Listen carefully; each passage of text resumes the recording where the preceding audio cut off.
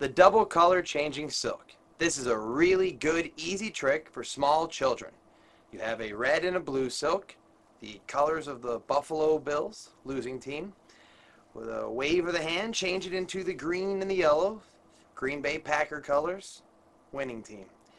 That is the double color changing handkerchief.